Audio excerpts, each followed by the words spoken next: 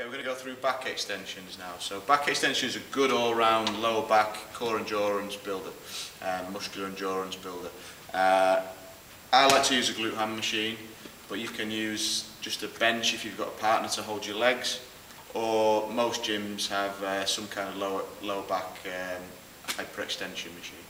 So all we're going to do is you're going to position yourself on the uh, on the machine, and you're going to cross your hands, cross your chest, straighten your legs out, and that's your start position there. So neutral back, just keep your head neutral as well, and then you're going to go nice and controlled down, and squeeze your glutes to come back up. Nice and controlled down, squeeze your glutes to come back up.